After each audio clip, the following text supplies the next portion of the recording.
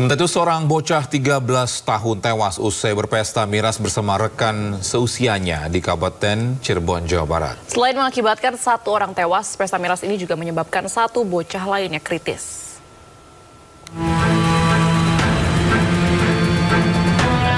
Suasana duka menyelimuti rumah R, bocah 13 tahun asal desa Cikahalang, Kecamatan Duku Puntang, Kabupaten Cirebon, Jawa Barat, selasa siang. Keluarga tak menyangka R yang masih duduk di bangku sekolah menengah pertama tewas diduga akibat minuman keras oplosan.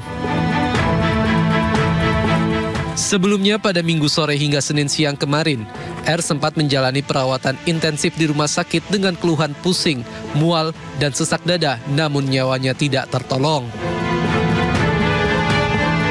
Selain mengakibatkan hilangnya nyawa, pesta miras oplosan yang dilakukan delapan pelajar SMP tersebut juga mengakibatkan satu bocah lainnya kritis.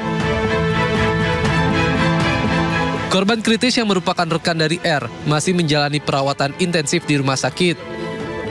Pesta miras oplosan yang dilakukan delapan anak di bawah umur tersebut terjadi pada Sabtu malam minggu kemarin di lapangan bola Duku Puntang.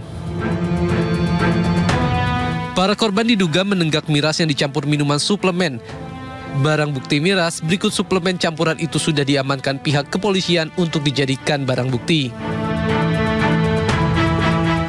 Diduga pesta miras tersebut yang mengakibatkan satu orang meninggal. Itu dilarikan ke rumah sakit, keluhannya apa aja katanya Pak? Katanya sih yang saya hasil obrolan itu tuh mual-mual dan uh, apa namanya uh, perutnya kayak apa namanya Terbak, panas terbakar gitu. Iya. Sempat dengar nggak Pak itu dicekokin atau memang minum-minum pesta-pesta bareng-bareng? Kalau dicekokin mbak ya mungkin karena itu hasil kemarin obrolan-obrolan emang nggak nggak semua kan ada beberapa yang tidak hadir gitu kan. Itu sih ya kayak minum-minum bersama ya. R, korban meninggal dalam pesta miras oplosan ini sudah dimakamkan oleh pihak keluarga usai menjalani otopsi di Rumah Sakit Bayangkara Indramayu. Petugas kepolisian juga telah memeriksa sejumlah saksi untuk menelusuri asal minuman haram tersebut.